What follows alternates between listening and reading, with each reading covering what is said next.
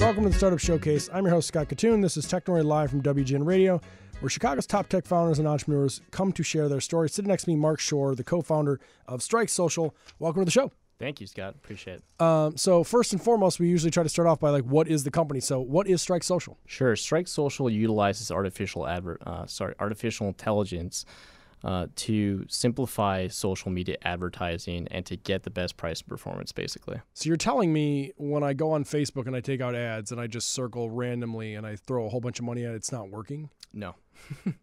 but why not? But they took my money. Yes. And so you need to know how to tell Facebook or how to tell Google or how to tell any of these platforms who it is that you're looking for. So, what Google and Facebook are really good at is understanding who people are, what they're interested in, where they go, what they do, what they like. But it's your job as the advertiser to let them know exactly what it is that you need, who you're looking for. Yep. Well, I think here, so. Here's the thing. So I'll ask you. I've been meaning to ask a lot. We had Facebook at. We were at a WeWork event. And there was a Facebook rep there, and I meant to ask him this, and I forgot. Uh, he probably would have lied to me anyway, so it doesn't matter. You'll tell me the truth. I hope, Mark.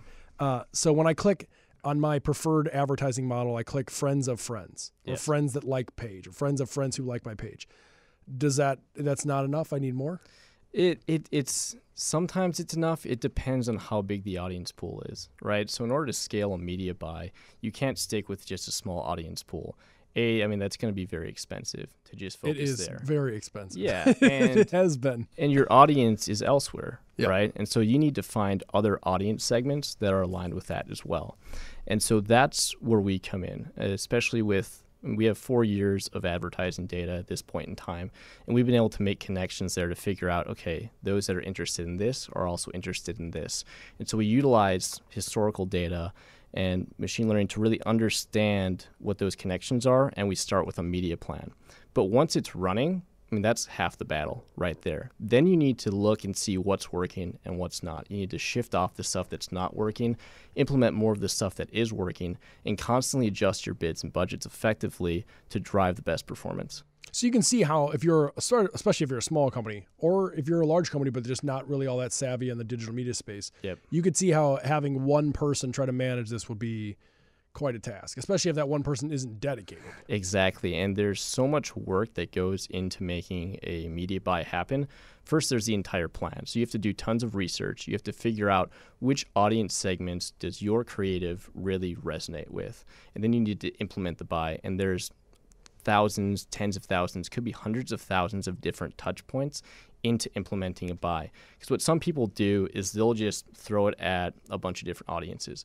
The problem with that is that you can't really optimize. You have to get granular. You have to figure out down to the specific type of target. So let's say that you want to target music, sports, entertainment. Easy enough, right?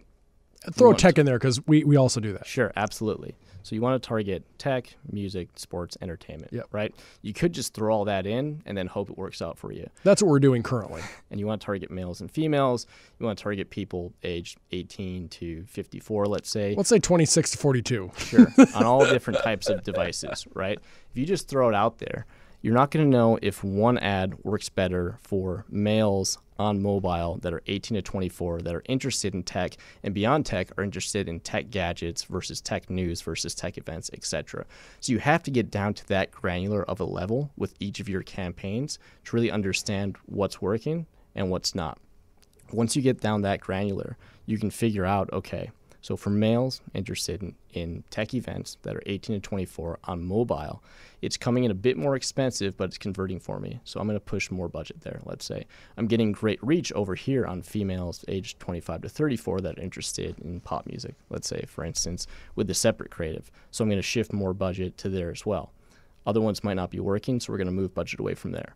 So implementing that type of campaign, that can take hours or days if you have a human being doing it. It's also wrought with human error, Yeah. basically mistakes. Um, the mistakes that happen at some of these advertising agencies can be tens of thousands, hundreds of thousands, millions of dollars, effectively. And so that's where our technology comes in as well.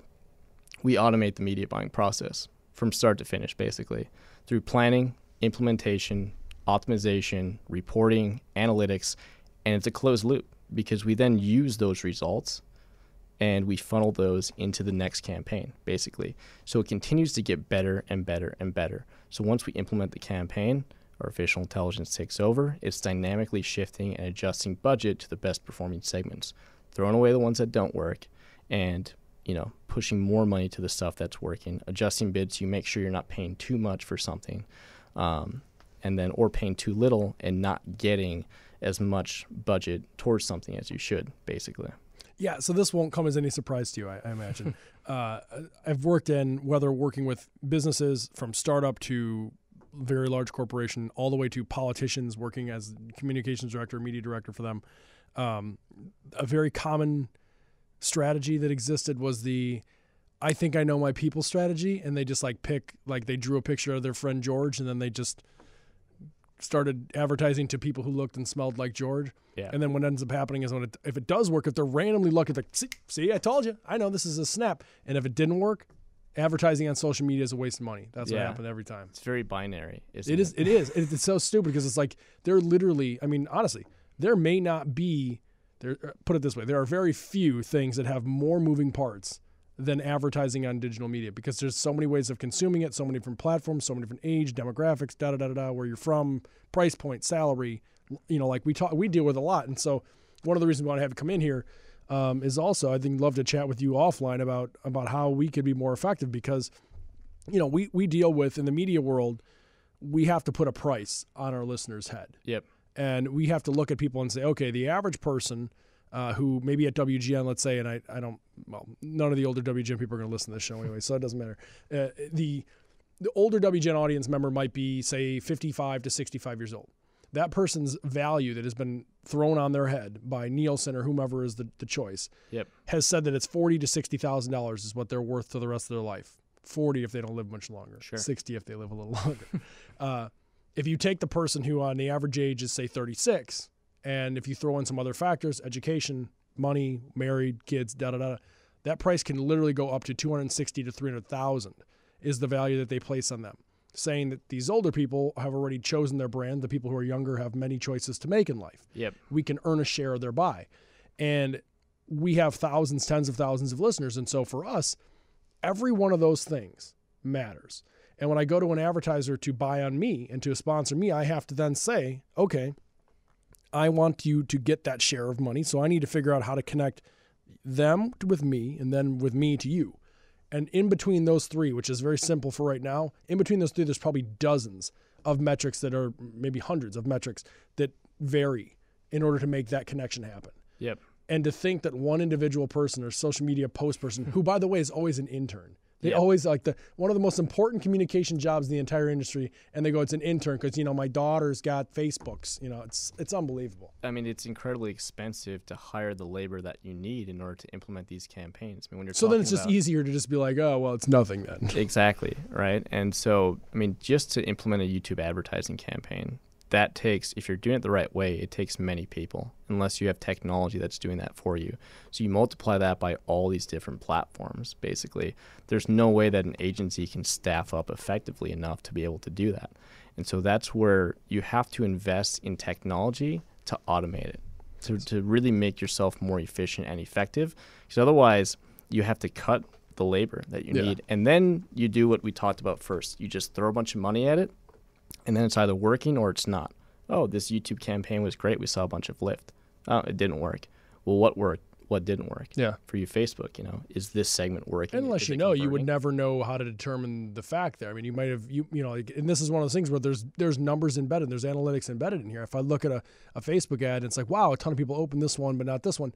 It may have nothing to do with settings and all to do with the video itself, or vice. versa. I mean, there's Yep. there's so many different things. So I guess why don't we kind of dovetail into your business itself and your background and like how how what is the experience like working with your company? What is it like for me to to like if I'm going to run my own company and well, I do run my own company. If I'm going to run that company and try to do this ad hoc with our interns uh, versus I hire Strike Social to take care of this for me. So we started as a managed service business, and so still today, to date, basically, you'd have to call us. You'd send us over a brief. You'd say, "Here's what we want. We want to target these segments. You know, these age ranges, these devices, genders, etc."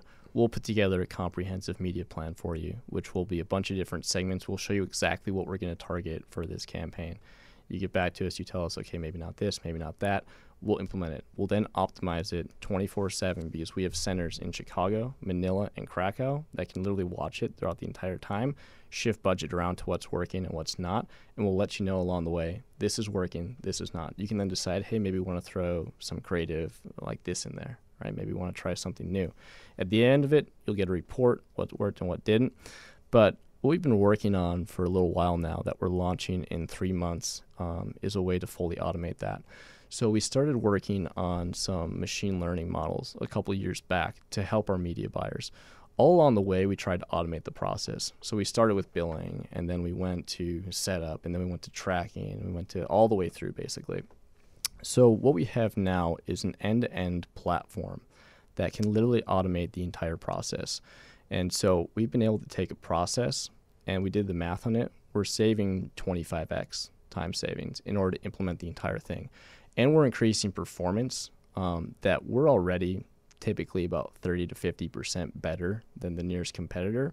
And we're about 20% better than our best buyers as well with the technology.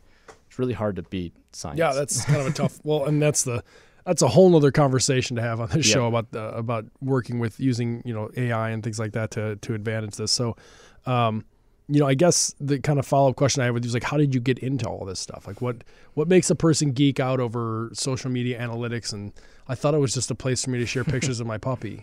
You know, when, when I was young, I was really interested in, in mathematics and physics and whatnot. I actually almost went into um, electrical engineering, computer science, that whole world. Um, I actually started off in broadcasting.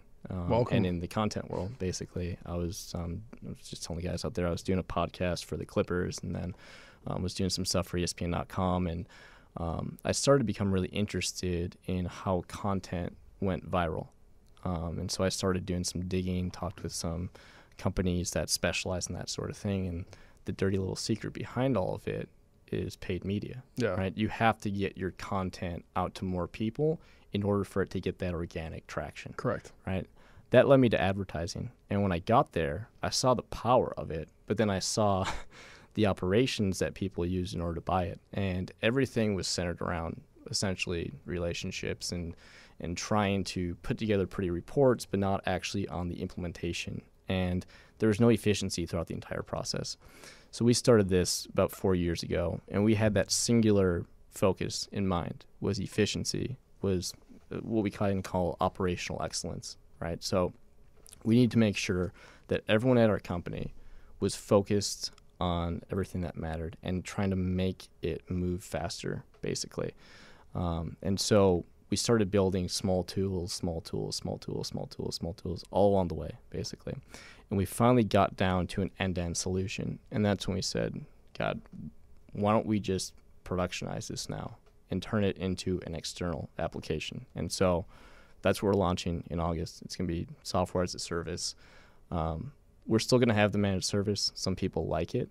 Um, but sort of like the white gloves Mhm. kind of experience. But we're going to use this as well, obviously. We've been using platforms internally that have made us about 2x. I was going to say, I 4x feel like this is probably a, a tool that you're, regardless is used. I mean, even the managed services still is going to use this Oh, internally. It's just- 100%. yeah. I mean, it, it wouldn't make sense not to. Yeah, that's that's funny. Yeah.